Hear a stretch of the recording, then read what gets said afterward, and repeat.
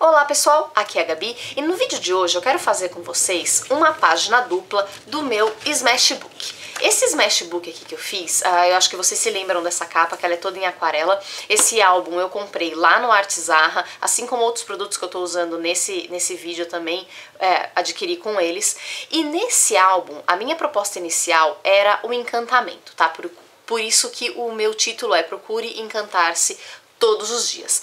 Nesse álbum eu não vou colocar nada sequencial, como por exemplo uma viagem ou algo assim. Eu vou colocar coisas bonitas que eu encontro por aí, que eu tiro foto por aí e que são representativas para mim, para que vocês possam perceber que cada álbum pode ter a característica que a, a característica que a gente bem entender. A gente não precisa seguir necessariamente o objetivo do álbum ou todos os álbuns eles terem um começo, meio e um fim, como um álbum de viagem, por exemplo tá?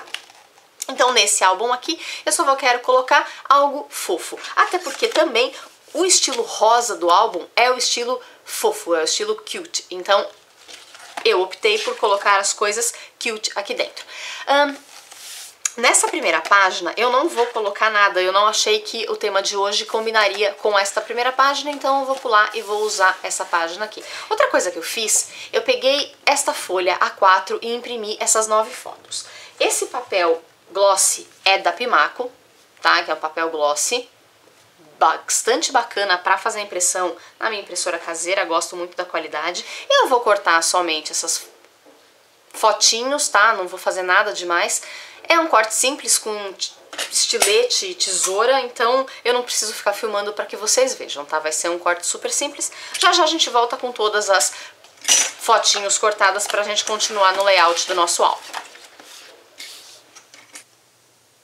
Já cortei as minhas fotinhos, coloquei elas nessa disposição, não sei se elas vão continuar assim, mas antes da gente continuar, eu quero mostrar para vocês também uma outra coisa, um outro material que eu quero utilizar, que ele não foi pensado para ser usado com o Smashbook, mas eu acho ele muito bacana, que é esse Scrap Momentos, esse kit de cartões, tá? Esse daqui especificamente é um, o kit Amor, ele é da Ivana Madi, tá? Esses desenhos, como vocês podem ver aqui. É que são vários cartõezinhos, todos eles são diferentes aqui dentro. A gente tem vários modelinhos deles, acho que tem dois modelinhos de cada.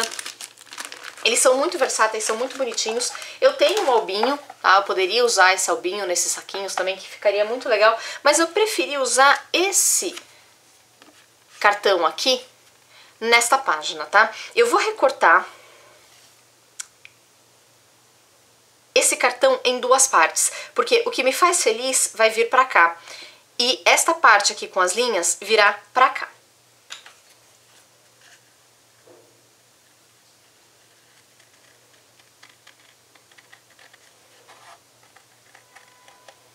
Vai ficar assim o meu layout, tudo bem? Agora, eu fiz também esses pequenos cartõezinhos. Para que, que eles servem? Uma das coisas que eu gosto muito no Smash, que eu comecei a fazer no começo desse ano, é manipulação. O álbum ele ser é, bem lúdico. Então o que, que eu faço? Eu vou prender essa foto, né, e todas as outras, nessa tagzinha, vou colar esta parte aqui e aí com essa sabinha eu posso manipular a minha foto. E para decorar depois essa parte interna, eu vou utilizar uma fitinha decorada. E aí eu tenho mais espaço para colocar os meus dizeres, eu tenho espaço até para mais fotos, caso, caso eu tenha impressa. E fica divertido para a pessoa que vai manipular esse álbum, porque ela vai descobrindo coisas que eu tenho no álbum e ela vai ficando cada vez mais motivada a ler as minhas coisas, a ver essas memórias, não só olhar a foto pela foto, tá? Então, o que, que eu fiz? Eu peguei a minha foto, eu medi essa foto, tá? Essa foto, ela tem especificamente um tamanho 8 centímetros e quase 5,5. Então o que, que eu fiz? Cortei um pouquinho mais do que 8 centímetros e esta parte aqui do comprimento eu cortei com 7, porque eu preciso também fazer essa dobra, tá? Então o que vai sobrar vai ser a dobra. Uma outra coisa também que eu peguei, vocês conseguem ver o riscado aqui, eu peguei para fazer essa aba nesse cardstock, esse gabarito de costura, e eu usei essa parte interna.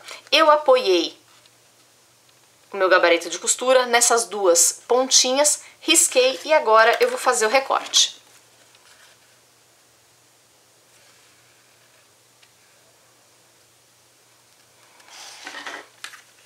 Apago as marcações de lápis.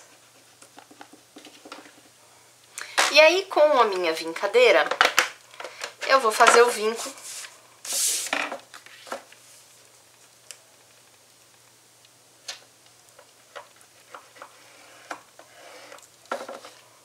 num tamanho que vá caber a foto, como vocês podem ver aqui. Vou passar cola em, todos, em todas as minhas fotos, vou colar uma por uma nas minhas bases. Com todas as fotinhos já coladas na base, eu vou começar a colar esses outros dois elementos.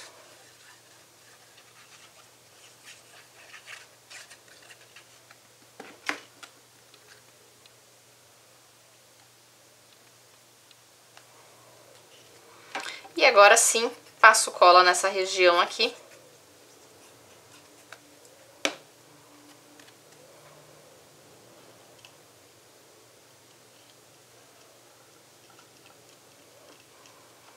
Faço um pouquinho de pressão.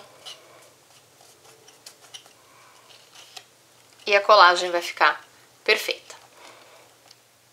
E olha só que legal, gente, todas as minhas fotinhos coladas, com bastante espaço, eu poderia colocar mais fotos aqui atrás. E agora, para fazer um enfeitinho, eu posso pegar uma fita washi e colocar atrás, nessa parte da foto, como um enfeite mesmo.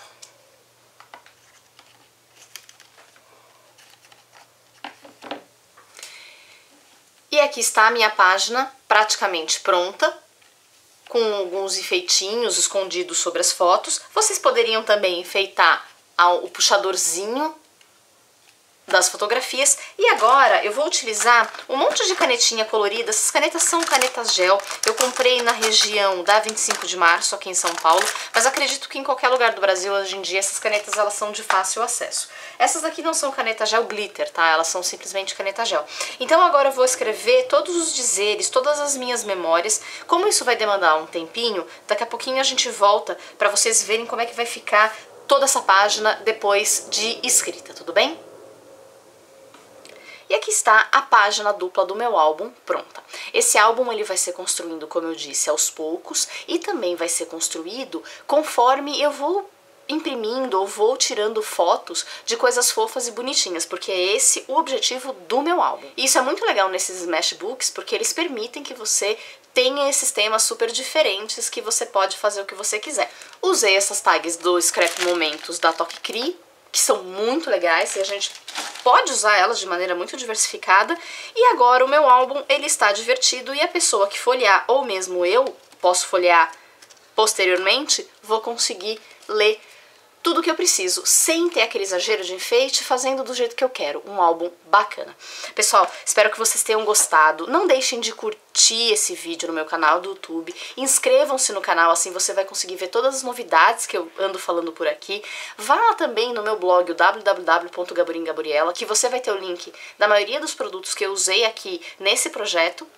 Não se esqueçam também de dar um pulinho lá no site do Arte Zarra. Lá vocês vão encontrar esse modelo de álbum e mais muitos outros para adaptar para a vida de vocês da melhor maneira possível. O site é bem bacana, vocês vão encontrar bastante produtos. Pessoal, espero que vocês tenham gostado de todo esse projeto. Um grande beijo, até o próximo vídeo e tchau, tchau!